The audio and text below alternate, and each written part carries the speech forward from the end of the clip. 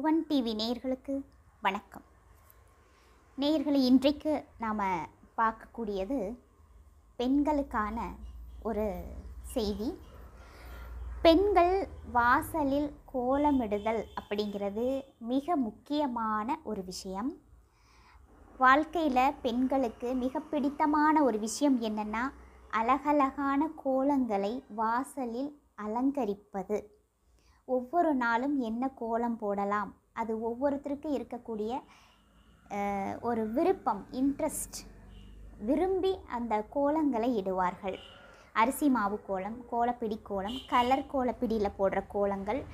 அவ்வளவு அழகாக அற்புதமாக வரையக்கூடிய கையில் வரையக்கூடிய ஒரு வண்ணம். வண்ணம் அந்த ஓவியம். அது வந்து மிகப்பெரிய ஒரு மகிழ்ச்சியை கொடுக்கும் பெண்களுக்கு.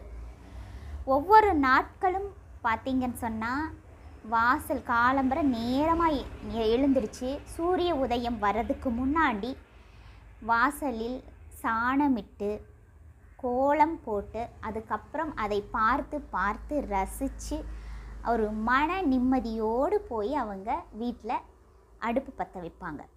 இப்போ வரைக்கும் பெண்களுக்கு உண்டான ஒரு மிக முக்கியமான ஒரு சந்தோஷத்தை கொடுக்கக்கூடிய ஒரு விஷயம்னு பார்த்திங்கன்னா இந்த கோலம் போடுதல் அப்படிங்கிறது தான் வீட்டை அலங்கரிப்பது அப்படிங்கிறது கோலத்தாலும் அலங்கரிப்பது மிகப்பெரிய ஒரு அழகான விஷயம்.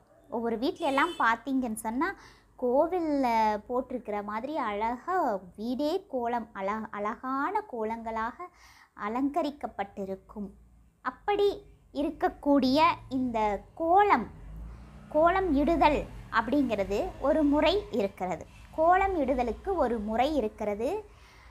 எந்தெந்த நாட்களில் எந்தெந்த கோலம் போடலாம் அப்படிங்கிறது ஒரு சிஸ்டத்தை கொண்டு வந்திருக்கிறாங்க அந்த காலத்திலேயே. அதாவது நாட்களுக்கு உரிய கோலம் ஒவ்வொரு நாட்களுக்கும் ஒவ்வொரு இறை வழிபாடு இருக்கிறது. திங்கக்கிழமைனா சிவ வழிபாடு பண்ணுறோம் அந்த மாதிரி ஒவ்வொரு வெள்ளிக்கிழமைனா அம்மன் வழிபாடு பண்ணுறோம் சனிக்கிழமைனா பெருமாள் வழிபாடு பண்ணுறோம் இந்த மாதிரி ஒவ்வொரு கிழமைகளுக்கும் ஒவ்வொரு வழிபாடு முறை இருக்கும் பொழுது அதே போல் ஒவ்வொரு கிழமைகளுக்கும் ஒவ்வொரு கோலம் போடுதல் முறை ஒன்று இருக்கிறது. இந்த கோலம் போடுதல் முறையை எல்லா பெண்களுமே தெரிஞ்சு வச்சுக்கிறது மிகவும் நல்ல விஷயம். ஏன்னா மகாலட்சுமி வீட்டுக்கு அடி எடுத்து வைப்பாங்க. தீய சக்திகள் வராமல் இருக்கும். அப்படின்னா நம்ம வீட்டு வாசலில் இடக்கூடிய அந்த கோலம்தான் முக்கியமான காரணமாக இருக்கிறது. ஸோ அப்படி பார்க்கும் பொழுது நாம் இந்த ஏழு நாட்களிலும் என்னென்ன கோலம் இடு இடு இடலாம்? வாசலில் என்னென்ன கோலம் போட்டு நம்மளுடைய வீட்டை அழகுபடுத்திக்கலாம்? வீட்டுக்கு நல்ல விஷயங்களை கொண்டு வருவது எப்படி? அதாவது அந்த காலத்தில் சொல்லுவாங்க வாசலில் எந்தளவுக்கு புள்ளி அழகாக வச்சு கோலம் போட்டிருக்காங்கன்னு பார்க்குறதுக்கு அதிகாலையில் பிரம்ம முகூர்த்தத்தில் தேவதைகள் வானில் வருவாங்க. தேவர்களெல்லாம் வானத்தில் பறந்து வரும் பொழுது தேவர்களெல்லாம் அந்த கோலத்தை பார்ப்பாங்க எந்த வீட்டு வாசலில் கோலம் அற்புதமாக அழகாக இருக்கிறதோ அந்த வீட்டு வாசலில் ஒரு நிமிடமாவது இறங்கி பார்த்து செல்வார்கள். அந்த புண்ணியம் நம்மளுக்கு கிடைக்கும்.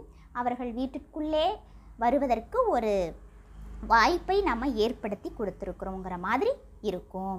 அதனால் கோலம் போடுதல் அப்படிங்கிறது டைம் பாஸுக்காகவோ அல்லது நம்ம கோலம் அழகாக போடுறது ஒரு இன்ட்ரெஸ்ட்டுக்காகவோ இல்லாமல் அதிலும் ஒரு விஷயம் இருக்கிறது அப்படிங்கிறது நம்பணும். அப்போது நம்ம இப்போ இந்த ஏழு நாட்களுக்குரிய கோலங்களை நான் இன்றைக்கி உங்களுக்கு சொல்கிறேன் ஒவ்வொரு நாட்களுக்கும் ஒவ்வொரு கோலங்கள். அதை பார்க்கலாம். அதாவது ஞாயிற்றுக்கிழமை அப்படின்னு பார்த்தீங்கன்னா சூரிய கோலம் போடலாம். சூரிய பகவானை வரைந்து சூரியன் மாதிரி போட்டு நீங்கள் அதுக்கப்புறம் ஒரு கோலம் போடலாம். இல்லை ஒரு கோலம் போட்டுட்டீங்கன்னு சொன்னால் ஏதாவது ஒரு திசையில் ஒரு சூரிய பகவானை வரைஞ்சி விட்டுருங்க. போட்டு விட்டுருங்க. அது வந்து மிக சிறப்பு. அதே மாதிரி கோலம் போடும் பொழுது உட்கார்ந்து கொண்டு போடக்கூடாது. குனிந்து தான் போடணும். அதே போல் பே ஆள்காட்டி விரலை சேர்த்து கோலம் போடக்கூடாது. இது முக்கியமான ஒன்று. ஆள்காட்டி விரலை நீக்கிவிட்டு இந்த மாதிரி பிடிச்சு இப்படி தான் நீங்கள் கோலம் போடணும். ஆள்காட்டி விரல் சேர்த்திக்க கூடாது அப்படின்னு ஒரு சொல்கிறாங்க அது மட்டுமல்ல வீட்டில் இருக்கக்கூடிய ஆண்கள் வெளியே செல்வதற்கு முன்பே கோலம் போட்டுடணும். அதற்கு முன்னாடி போடக்கூடாது. அதாவது வீட்டில் இருக்கிற ஆண்கள் வெளியே போனதுக்கப்புறம் நம்ம போடுறது பலன் தராது. அதுக்கு முன்னாடி நம்ம போட்டுறணும் அப்படின்னு சொல்கிறாங்க அது மட்டுமல்ல கோலம் இடும் பொழுது நீங்கள் தெற்கு நோக்கி கோலம் போடக்கூடாது. தெற்கு திசையை நோக்கி. கோலத்தை போட்டு முடிக்கும் தருவாய். அந்த துவங்கும் கோலத்தை துவங்கக்கூடிய தருவாய் வந்து கிழக்கு நோக்கியோ வடக்கு நோக்கியோ நீங்கள் ஆரம்பிக்கலாம். முடிக்கும் பொழுது நிச்சயமாக வடக்கோ கிழக்கோ அந்த மாதிரி திசைகளில் அந்த கோலம் முடிவடையுமாறு நீங்கள் முடிச்சுக்கணும். இது மிக முக்கியமான ஒன்று. ஸோ அப்போது இந்த கோலம் வந்து திதி கொடுக்குற நாட்களுக்கெல்லாம் கோலம் போடக்கூடாது. முன்னோர்களை வழிபாடு பண்ணுற அன்னைக்கும் திதி கொடுக்குற அன்னைக்கும் அமாவாசை அன்றும் நீங்கள் வாசலில் கோலம் போடுதல் வேண்டாம். கூடாது ஏன்னு கேட்டிங்கன்னா முன்னோர்கள் வந்து வரமாட்டாங்க. தீய சக்திகள் எல்லாமும் வராது. அதே போல் அந்த ஆன்மாக்களை வர விடாமல் தடை செய்யக்கூடியது இந்த கோலம். ஸோ அந்த கோலத்தை நீங்கள் அமாவாசை என்றும் திதி நாட்களில் திதி கொடுக்குறீங்கன்னு சொன்னால் அன்னைக்கு இறந்தவர்களை நாம் கும்பிடுற அன்னைக்கெல்லாம் வந்து நீங்கள் வாசலில் கோலம் போடாதீங்க. அது ஒன்று. அப்புறம் பார்த்திங்கன்னா இந்த கிழமைகளில் கோலத்தை என்னென்ன கிழமைகள் போடலான்னு பார்ப்போம். ஞாயிற்றுக்கிழமை சூரிய கோலம் போடலாம் செந்தாமரை கோலமும் போடலாம்.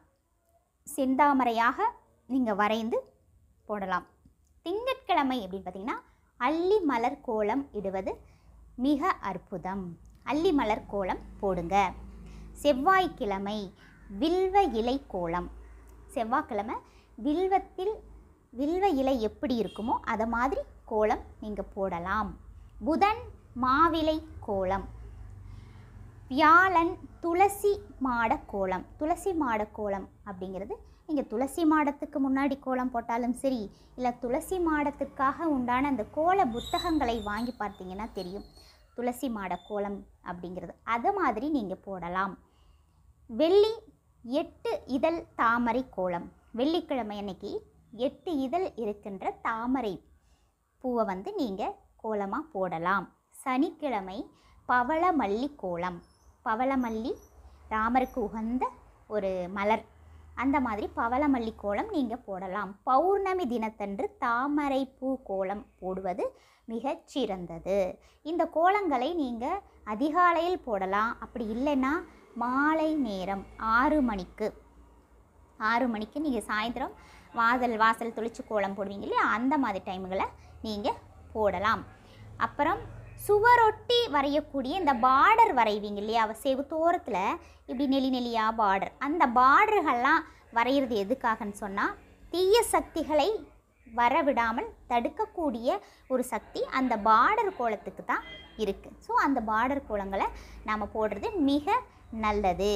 அப்படின்னு சொல்கிறோம் ஸோ இந்த கோலம் போடுதல் முறை கோலம் என்னென்ன நாட்களில் என்னென்ன கோலம் போடுறது அப்படிங்கிறதெல்லாம் தெரிஞ்சு வச்சுக்கணும். பெண் குழந்தைகளுக்கு மிகவும் முக்கியம் இது. தெரிந்து கொள்வது நல்லது. ஒருத்தர் வீட்டுக்கு அடுத்த வீட்டுக்கு போய் வாழக்கூடிய பெண்கள் பெண் குழந்தைகள் இருக்கிறாங்க. அந்த குழந்தைகளுக்கெல்லாம் வந்து இந்த மாதிரி விஷயங்களை நிச்சயமாக கற்றுக் கொடுத்துடணும் சொல்லி கொடுத்துடணும். அப்பொழுது அவங்களுடைய வீடுகளில் நிச்சயமாக எந்த பிரச்சனையும் வராமல் அவங்களுக்கு பெருமை சேர்க்கக்கூடிய குழந்தையாக நம் குழந்தை திகழுவாள். ஸோ இந்த வீடியோவை நிறைய பேருக்கு ஷேர் பண்ணுங்கள் நிச்சயமாக சப்ஸ்கிரைப் பண்ணுங்கள் லைக் பண்ணுங்கள் நிறைய விஷயங்கள் நல்ல விஷயங்களை கொடுத்துட்ருக்கோம். இந்த விஷயங்கள் எல்லாம் நிறைய பேருக்கு சென்றடையணும் அப்படிங்கிறது தான் இந்த புவன் டிவியுடைய நோக்கம். நன்றி வணக்கம்.